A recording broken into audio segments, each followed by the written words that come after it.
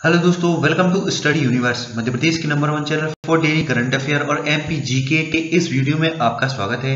दोस्तों, आज हम डिवीज़न सागर, यानी संभाग सागर के बारे में बात करेंगे। इससे पहले दोस्तों, मैंने आपको भोपाल संभाग के बारे में एक वीडियो बना दिया है, जिसे जाकर आप देखें दोस्तों, बहुत पुराना वीडियो वैसे, लेकिन आपको दिखना चाहिए। उस वीडियो में दोस्तों, जितने भी भोपाल से रिलेटेड क्वेश्चन है, भोपाल संभाग से रिलेटेड भोपाल के जिलों से रिलेटेड वो सभी आप तक लेकर आए हैं। दोस्तों, मेरी गारंटी है, अगर आप इस वीडियो को बहुत गौर से देखते हैं तो जितने भी आपके आने वाले एग्ज़ाम हैं, उनके लिए बहुत इंपॉर्टेंट है। दोस्तों, सागर संभाग, में छह ज़िले आते हैं, इनके बारे में जितने भी इंपॉर्टेंट फैक्ट हैं, जितने भी जो वहाँ पर स्थित जगह हैं, उनके बारे में गहन जानकारी के साथ में ये वीडियो आप तक लेकर दोस्तों, सबसे पहले बात करते हैं सागर संभाग की तो ये जो मैं रेड क्लिक कर रहा हूँ, ये दोस्तों, ये है सागर संभाग। आप देख पा रहे होंगे इसमें टीकमगढ़, छतरपुर, पन्ना, दमोह और सागर। दोस्तों, वहीं अगर बात करें तो इस जगह इस जगह पर निमाड़ी जिला बनाया गया है टीकमगढ़ से अलग करके, जिसे 2018 में जिला घोषित किया गया था। तो कुल मिलाकर सागर संभाग में छह ज़िले हैं, जिनका नाम है सागर, दमोह, पन्ना, छतरपुर, टीकमगढ़ और निमाड़ी। अब दोस्तों, आपको एक और इम्पोर्टेंट फैक्ट बता दें तो पन्ना, छतरपुर, टीकमगढ़ निमाड़ी और सागर। इन पाँचों जिलों की सीमा जो है उत्तर प्रदेश से टच करती है। वहीं सिर्फ़ एक ऐसा जिला है जो दमोह है, जिसकी सीमा उत्तर प्रदेश से टच नहीं करती है। तो दोस्तों, ये भी एक इंपॉर्टेंट क्वेश्चन बन जाता है। तो आपको याद रखना है। अब दोस्तों, सब करते हैं सागर डिस्ट्रिक्ट की, यानी जिला सागर की।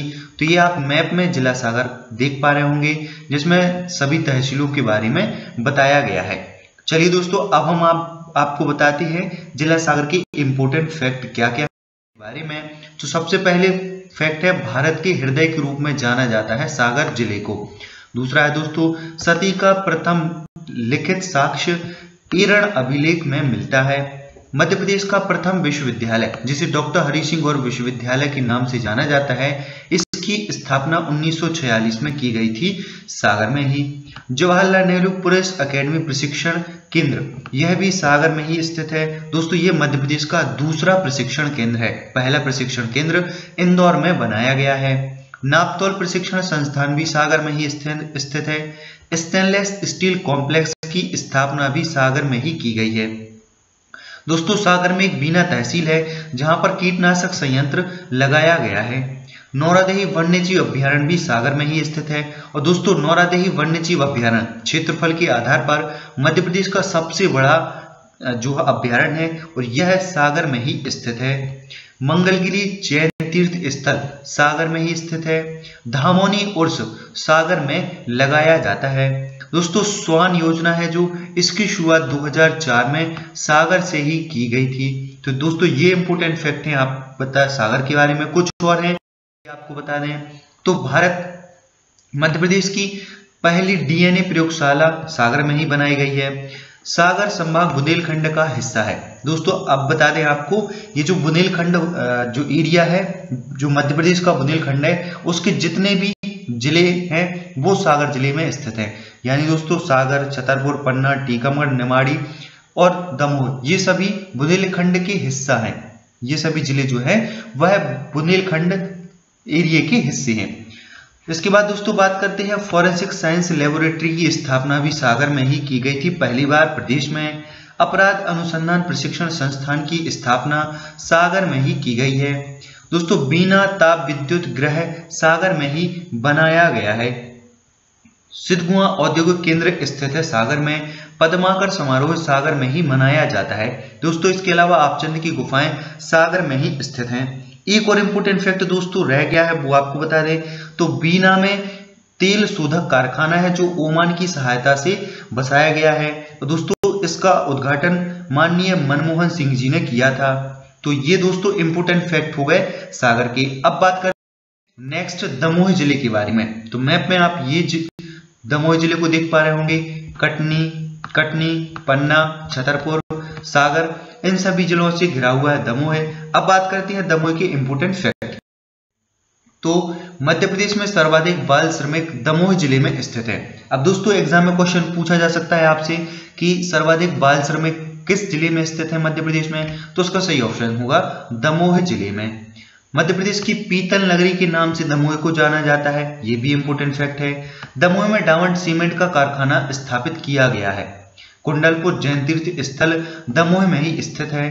बांदकपुर जहाँ पर शिव मंदिर है, यह हिंदू तीर्थ स्थल दमोह में ही स्थित है। कांसा और पीतल बर्तन सेंटर समूह में स्थित है। दोस्तों, आपको बता दें, दमोह को प्राचीन काल में तुड़ीकर के नाम से जाना जाता था। ये दोस्तों एक इंपोर्टेंट फैक्ट हर बार एग्ज़ाम में पूछा जाता है, दमोह को तुड़ीकर के नाम से जाना जाता था प्राचीन काल में।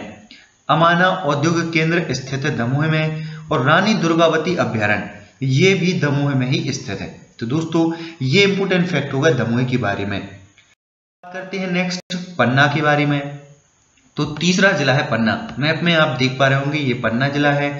अब दोस्तों इंपोर्टेंट फैक्ट की बारी आती है पन्ना तो उनके बारे में बात करें।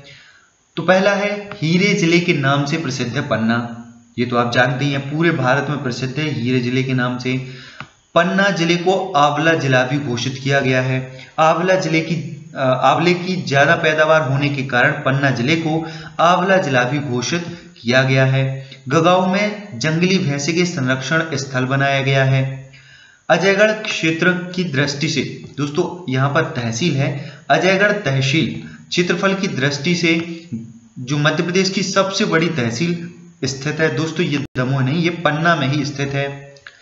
भारत का सबसे बड़ा हीरा भंडार पन्ना में ही स्थित है। मध्य प्रदेश का रेप्टाइल पार्क पन्ना में ही बनाया गया है। पन्ना में टी हाउस की स्थापना की गई है। राजा दघीची और राजा पहनावत का राज्य पन्ना ही स्थित है। पन्ना राष्ट्रीय उद्यान में प्रोजेक्ट टाइगर उन्नीस सौ पंचानवे से शुरुआत की गई थी। ये दोस्तों, एक इंपॉर्टेंट क्वेश्चन है। यहाँ से आप पढ़िए। पन्ना राष्ट्रीय उद्यान में प्रोजेक्ट टाइगर की जो शुरुआत की गई थी, वह उन्नीस सौ पंचानवे में की गई थी। तो ये एक इंपोर्टेंट फैक्ट है एग्ज़ाम में पूछा जा सकता है। पन्ना राष्ट्रीय उद्यान की स्थापना की गई थी उन्नीस सौ इक्यासी में, और प्रोजेक्ट टाइगर जो किया गया था शुरुआत, वो की गई थी उन्नीस सौ पंचानवे में। दो इंपोर्टेंट अलग अलग क्वेश्चन है। और दोस्तों, आपको बता दें, पन्ना राष्ट्रीय उद्यान छतरपुर और पन्ना दोनों जिलों में स्थित है। यानी आधा आधा एरिया दोनों जिलों में पड़ता है। गंगाऊ अभ्यारण्य, जो छियासठ सॉरी अड़सठ वर्ग किलोमीटर एरिया में फैला है, वह पन्ना में ही स्थित है। अजयगढ़ का किला पन्ना में ही स्थित है। दोस्तों, ये एक इंपॉर्टेंट फैक्ट है। अजयगढ़ का जो किला है, वह पन्ना में स्थित है। आपको एग्ज़ाम में पूछा जा सकता है। नेक्स्ट क्वेश्चन तो आपको बता दें, अब जिला छतरपुर के बारे में। तो मैप में आप ये जिला छतरपुर के बारे में देख पा रहे होंगे। आती है कुछ इंपोर्टेंट फैक्ट की। तो राजा छत्रसाल के नाम से इस ज़िले का नाम छतरपुर रखा गया है। प्राचीन काल में जेजाक मुक्ति, दोस्तों, जेजाक मुक्ति के नाम से जाना जाता था छतरपुर को। चंदेलों द्वारा निर्मित खजुराहो यहीं पर स्थित है। दोस्तों, खजुराहो को 1986 में यूनेस्को द्वारा विश्व विरासत की सूची में शामिल किया गया था। अखिल भारतीय शास्त्रीय संगीत समारोह और नृत्य समारोह। दोस्तों, जो भारत का सबसे बड़ा नृत्य समारोह है, यह खजुराहो में आयोजित किया जाता है, जिसे खजुराहो नृत्य महोत्सव के नाम से भी जाना जाता है।